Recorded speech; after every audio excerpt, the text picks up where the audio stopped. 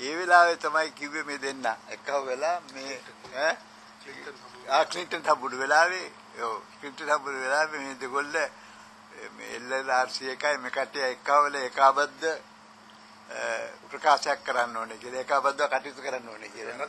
වැරද්දක් නැහැ. කියලා. අනිත් එක ඒක බැලුවාම දැන් මට මතකයි ඔය දැන් තියෙන LLRC එකේ වුණත් මේක කොටි හිතවාදීන් කීප දෙනෙක් ඉන්නවා. මට මතකයි මම කතා කරා අපේ මහාචාර්ය ජී.එස්. පීරිස් මහත්තයාට මේකට ගිහිල්ලා සාක්ෂි දෙමු කියලා. මහත්තයා කිව්වා මොකක්ද අපි සාක්ෂි දෙන්නේ? මේකේ ඉන්නවා අහවල්ලු අහවල්ලු සම්පූර්ණයෙන්ම අපේ මතයට විරුද්ධ කට්ටිය. දැන් හිතා ගන්න පුළුවන් නේද? මේ කොමිසම ඇතුළත එහෙම ඉන්නවා.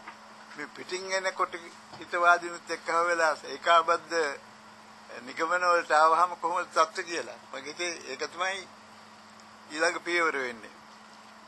අනිත් එක අර මම හිතේ ඉතාමත්ම හොඳ නිරීක්ෂණයක් වෙන්න ඔය අපේ විදේශ අමාත්‍යාංශේ විදේශාන්තරංශේ වසන්ත බණ්ඩාර මහත්තයෝ පෙන්වගේ දිගින් දිගටම පව අවුරුදු 30 තුලම කරේ වැරදි උපදෙස් දීම කියලා කොහොම හරි මේ බටහිර ජාතීන් පිනවන්න කටයුතු කරන්නේ එහෙම නැත්නම් අපිට ගැළවීමක් නැහැ කියලා.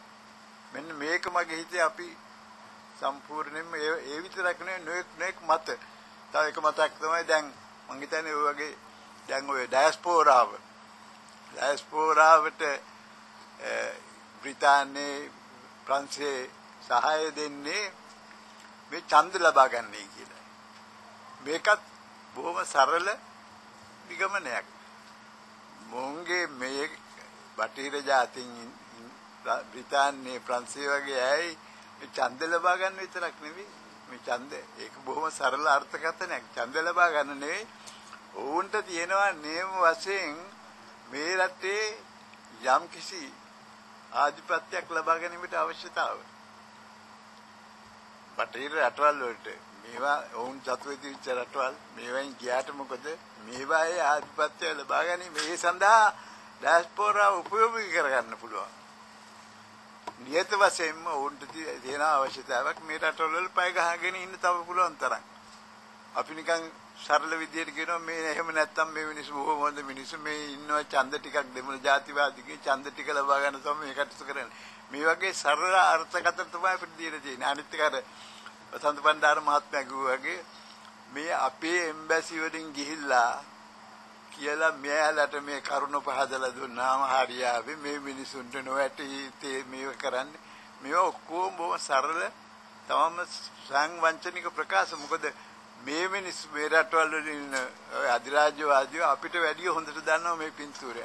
අපි ගිහිල්ලා උන්ට දැනුවත් කිරීම අවශ්‍ය නැහැ. අපිට වැඩිය හොඳට දැනුවත්ව දන්නවා මොකද්ද මේ රටේ වෙන්නේ කියලා. මෙන්න මේ වගේ මිත්‍යා තමයි අපේ ওই විදේශ අමාත්‍යාංශෙත් පතුරවන්නේ.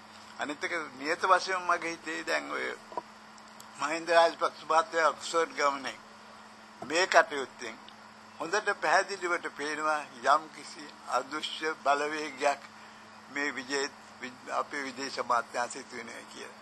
මෙන්න මේකත් මගේ හිතේ අපි ලිදරව් කර යුතුයි.